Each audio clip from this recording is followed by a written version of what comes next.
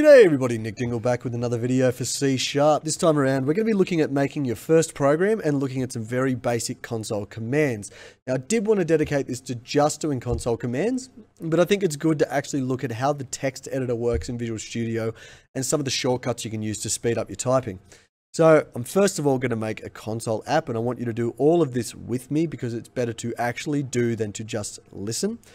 And we're going to make sure it's a console app at the top change it to hello world. If you don't know that reference, every single first program you should make in any programming language should be a hello world for that matter. Now, I want to quickly say that you need to make sure that all of your source code for right now goes inside this program.cs file. If for whatever reason you lose the file and it looks like this when you open up a project, simply double click it under the Solution Explorer. And if you've lost the Solution Explorer, you will find it under the View menu. Control Alt L. All right. When you're actually working with source code, you have to remember that it's not that delicate, okay? You can go through and delete things and type things wherever you want and start messing some stuff up and doing whatever you want. All right. You can break things pretty quickly. All right. The reason I say it's not that delicate is because it's just a simple text editor. Okay, you can do whatever you want. All the colorizing and things like that just help you see visualize things a little bit better. The dotted lines show you which brackets match up to which brackets and things like that. Okay, but before I go into too much detail about how the text editor works, let's make our very first program.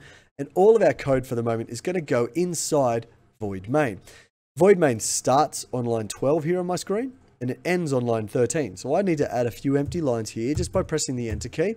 This yellow bar indicates changes that I've made to my code that have not been saved.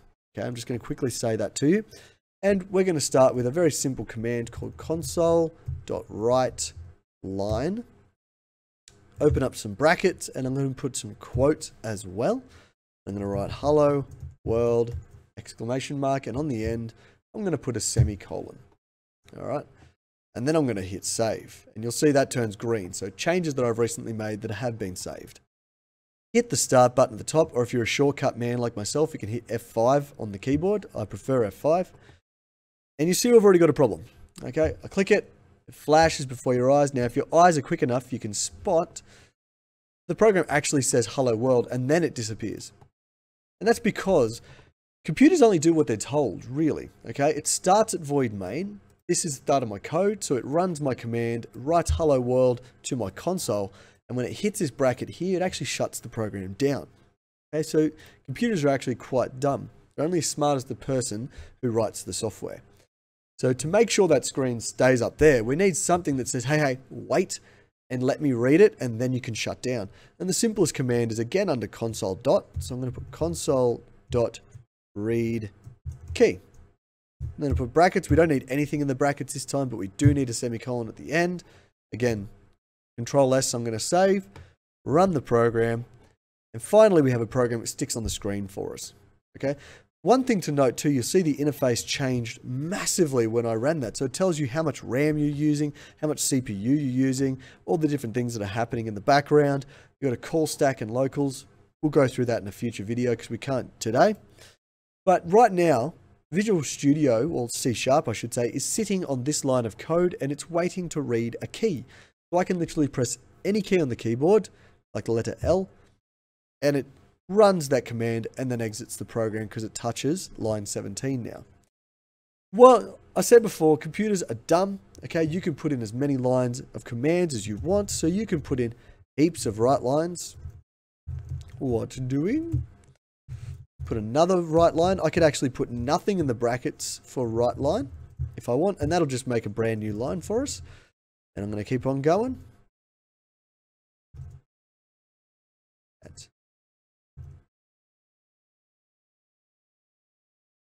Beautiful.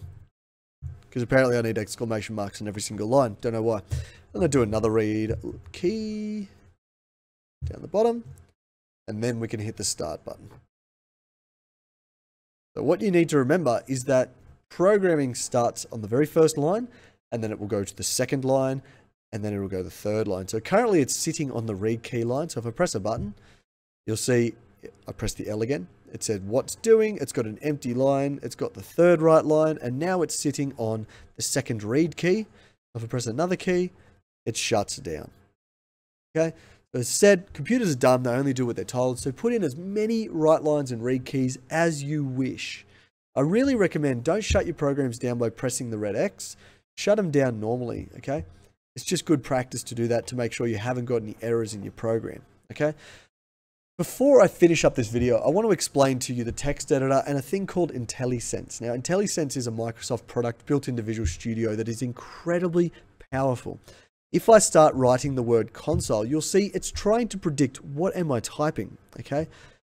So if I type in enough letters, it eventually probably guesses what I've got. And this is what IntelliSense is, okay? It's trying to guess what I'm typing in as I do it. Now you might be asking what is the benefit of doing that, okay? Because I can just type in console anyway. In fact, I've written that incorrectly because I haven't put it a capital C on the front. Now, IntelliSense is really handy for auto completion. So if I start typing in console, sorry, I'll drop off a few letters. I can actually hit spacebar and it'll write the word incorrect, or it'll write the word there correctly for me.